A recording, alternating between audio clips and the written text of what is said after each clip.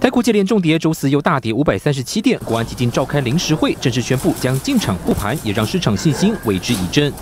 那么我们考量到啊，国内近期近期国际股市的动荡，还有这个武汉肺炎疫情的扩扩散，那么间接的影响到啊投资的信心，是我们啊授权执行秘书啊这个动用资金，那么执行市场。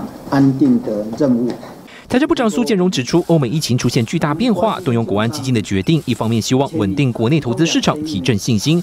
至于进场时机，他形容是来无影去无踪，是实际情况而定。不必等到啊这个呃这个恐慌性卖压发生了，我们再来啊授权进场，那这样可能就就就来不及了。所以基本上这个是一个啊，就取得授权以后，我们就可以有比较有弹性的。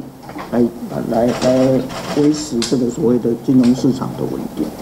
国安基金曾六度进场，最高投入金额一千两百多亿新台币，这只授权五千亿金额，没有设定期限，加上先前持股都已经卖出，资金相对充足。新台电视黄亮简台湾台北报道。